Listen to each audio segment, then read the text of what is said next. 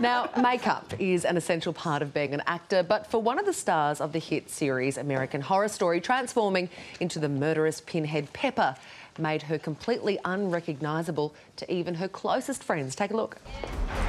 Room search, Miss Winters. We find it keeps our charges honest. Food violation. Oh, Pepper. Now tell me, why is it we don't allow food in the rooms? Rats! That's right, Pepper. Why can't you get that through your pointy little head, huh? Please welcome Pepper's alter ego, Naomi Grossman, everyone. wow. Naomi, you are so gorgeous. We want to put a, a, a picture of Pepper up beside you. There she is. Uh, I mean, we start out looking like Pepper in the morning, and it takes us about a good hour to come looking like you. How long do you spend each, more, each day on transforming into your character? About two and a half to three hours. Wow. And what happens? Yeah. What's, what's part of the process? Well, uh, I lay back, close my eyes. Two and a half hours later, uh, it's done. It's pretty, but that's that's my part. You know, the uh, the makeup artists are the ones that that have the hard job. Basically, it, it consists of a, a prosthetic nose, brow, ears, hands, uh, fat suit, fake teeth, a mm. wonky lens. It's quite involved. Basically, they lay it down, they glue it, then of course they they spray to kind of even out the complexion, and then they actually go in with a you know as if they were fine artists, you know. And oh. How did you feel each- when you when you looked in the mirror and you saw the process? I mean, did you say, think to yourself, "My God, I look beautiful"? I mean, it's shocking. You know, you don't recognize yourself. It's a weird feeling looking in the mirror and not really knowing. You know, you got a pinch like, oh, yeah, that's me. Yeah, I felt that. now, Naomi, it's one thing sitting in the makeup chair and having prosthetics, but what about living with a skinhead when you're not on set? Was that difficult? Well, uh, the first season, because you know Peppers returned for both uh, uh, Asylum and Freak Show. The first time around, they actually kept that little thing on my head, which yes, it made dating quite a challenge.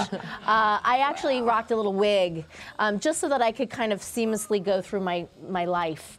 Um, but for Freak Show, um, they sent us to New Orleans, which is a really hot, muggy place, and there was no way I was going to wear a wig. Uh, and besides, just out of respect, I think you know I had my my counterpart Salty, and he's actually a bald man, and so you know it wasn't really fair for me to have to run, run around like a Hare Krishna. While he got to just live his life like a you know normal person. Naomi, how strange is it? I mean, you know, living in Hollywood where it's all about image, what it looks like, what you look like. I mean, uglying up for a role, is that in a way a little bit liberating for an actress? I think so. Um, I, I mean, this just happened to me. I didn't.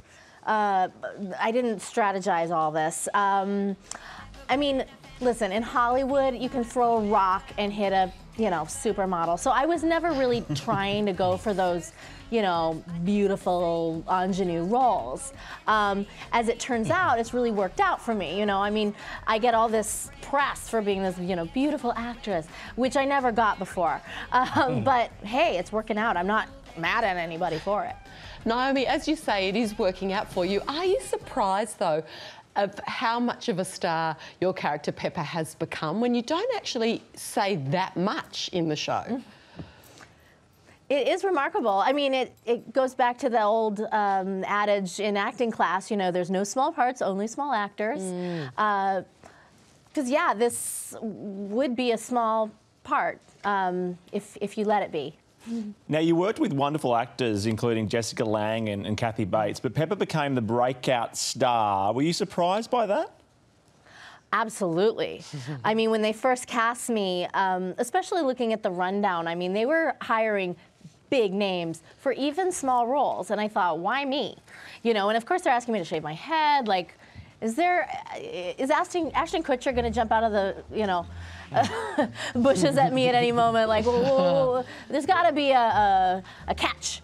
Um, uh, as it turns out, yeah. I mean, who knew? You you really can't ever anticipate what's going to hit. You know what I mean? What audiences are going to uh, respond to.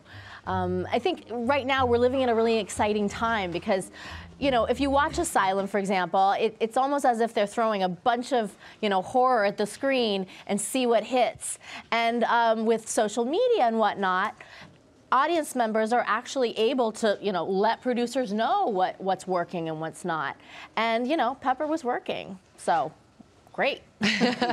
well, it's been fabulous talking to you this morning, Naomi. Thank you very much for joining us. And you can find all of the details about Oz Comic Con at their website, ozcomiccon.com.